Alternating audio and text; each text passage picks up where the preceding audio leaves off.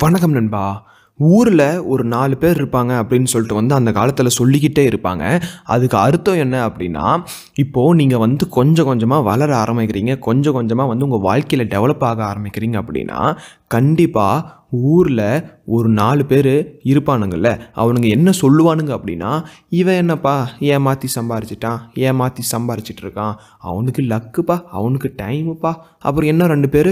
ஏ அவன் உழைச்சி சம்பாதிக்கிறான் அப்படிமா இன்னொருத்தன் டேய் அவன் ஊரெல்லாம் ஏமாற்றி ஆட்டையை போட்டு திருடி எல்லாத்தையும் சீரழிக்க வச்சு இவன் வந்து சம்பாரிச்சிட்டு இருக்கான் அப்படின்னு சொல்லிட்டு. ஸோ இந்த மாதிரி ஃபோர் டைப் ஆஃப் பீப்புள்ஸ் வந்து இருந்துட்டு தான் இருப்பாங்க. ஊர்லன்னு இல்லை எங்கே போனாலும் சரிங்க. சரியா? உங்கள் பக்கத்துலேயே அந்த மாதிரி பீப்புள்ஸ் வந்து நிச்சயமாக இருப்பாங்க. ஓகேவா ஸோ நான் வந்து இதை இதை பற்றி நான் வந்து ஏன் பேசுகிறேன் அப்படின்னா நீங்கள் வந்து வாழ்க்கையில் முன்னேறலான்னு சொல்லிட்டு டெய்லியுமே வந்து துடிச்சிட்டு இருப்பீங்க. ஓகேவா? ஆனால் இவங்க அதாவது இந்த மாதிரி ஆட்கள் வந்து உங்களை வந்து டீமோட்டிவ் பண்ணி அப்படியே உட்கார வச்சுருவாங்க. ஸோ தயவு செஞ்சு அப்படி உட்கார வேண்டாங்க. இந்த நாலு பேர் வந்து எம்ஜிஆர் த எம்ஜிஆர் காலத்தில் இல்லை சிவாஜி காலத்தில் இல்லை ஹிட்லர் காலத்துலேருந்தே இருக்காங்க. சரியா? இந்த ம இந்த மனு இந்த மனுஷங்க எப்போ பேச ஆரம்பிச்சோமோ எப்போ வந்து அந்த போட்டி போகிறாமலாம் உருவாக ஆரம்பிச்சதோ அப்போலேருந்தே இந்த மாதிரி ஆட்கள் வந்து இருந்துக்கிட்டு தான் இருக்காங்க. சரிங்களா? இப்போது சக்ஸஸ்ஃபுல்லாக ஆனவங்களுக்கு வந்து பார்த்திங்கன்னா நிறைய பிரச்சனை இந்த மாதிரி வந்திருக்கும். ஆனால் அவங்க வந்து என்ன ஒன்று பண்ணியிருப்பாங்க அப்படின்னா எதையுமே கண்டுக்காமல் ஒரு செவிடனா ஒரு செவிடியாக வாழ்ந்துருப்பாங்க. அப்படி வாழ்ந்ததுனால மட்டும்தான் அவங்களோட பேச்செல்லாம் அவங்களோட மனசுக்குள்ளே எடுத்துக்காகவே சும்மா அப்படி கேட்டு கேட்காத மாதிரி போயிடுவாங்கன்னு வச்சுக்கோங்களேன் நான் அப்படி சொல்ல வரேன். ஸோ அதை வந்து ஒரு ஒரு செவிடை எப்படி ஹேண்டில் பண்ணுவோன்னு அந்த மாதிரி அதை வந்து கண்டும் அப்படியே கண்டுக்காத மாதிரி போனதுனால மட்டும்தான் இப்போ வந்து சக்ஸஸ்ஃபுல்லாக நம்ம கண் முன்னாடி வந்து திகழ்ந்துட்டு இருக்காங்க ஸோ அதே மாதிரி நீங்கள் வந்து நிச்சயமாக ஒரு செவடனா மாதிரி தான் இருக்கணும். அப்படி இருந்தால் மட்டும்தான் அந்த நாலு பேர் சொல்கிறது உங்களை வந்து பாதிக்காது. உங்களோட உங்களோட முயற்சியை வந்து அதை வந்து முறியடிக்காமல் இன்னமும் நீங்கள் வந்து மேலே மேலே போய்கிட்டே இருப்பீங்க. ஸோ புரிஞ்சுக்கோங்க. இது வந்து அதாவது இப்போ நான் சொல்கிற விஷயம் வந்து எல்லாத்துலேயுமேங்க எல்லா துறையிலுமே இதில் தான் இப்படி அதில் தான் அப்படின்னு இல்லை.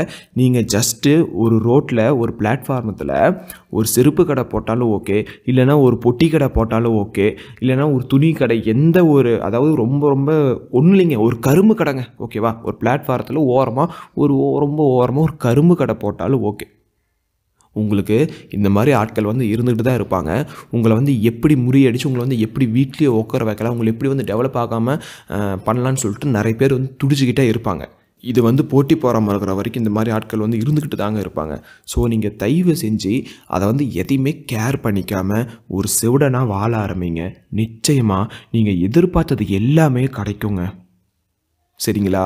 நீங்கள் வந்து நல்ல ஒரு பாதையில் தான் போயிட்டுருக்கீங்க. நல்ல முயற்சி செஞ்சுக்கிட்டு தான் இருக்கீங்க.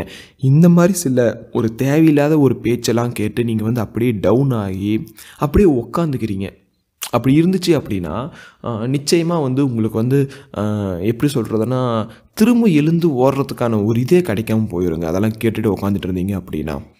ஸோ அதனால் இப்போ நீங்கள் உட்காந்துட்டு இருக்கிற ஆளாக இருந்தால் தட்டி எழுப்பி தயவு செஞ்சு ஓடுங்கன்னு சொல்லிட்டு சொல்கிறதுக்கு இந்த வீடியோ ஒரு பயனுள்ளதாக இருக்கும்னு நான் நம்புகிறேன் அப்படி நீங்கள் ஓடிட்டுருக்கிற ஆளாக இருந்தால் ஒரு ரிமைண்ட் பண்ணிக்கோங்க ஒரு ஞாபகம் வச்சுக்கோங்க. ஓ இந்த மாதிரி நமக்கு வந்து நடக்கும் இந்த மாதிரி நம்ம நடந்துகிட்ருக்கு அப்படின்னு சொல்லி வந்து ஒரு ரிமைண்ட் பண்ணிக்கிட்டு அதை வந்து கண்டுக்காமல் ஒரு செவிடனா ஒரு செவிடியாக நீங்கள் வந்து வாழ ஆரம்பிச்சிங்க அப்படின்னா நிச்சயமாக எவ்வளோ பேர் சக்ஸஸ்ஃபுல்லாக இருக்காங்களே அந்த இடத்துல நீங்களும் வருவீங்க.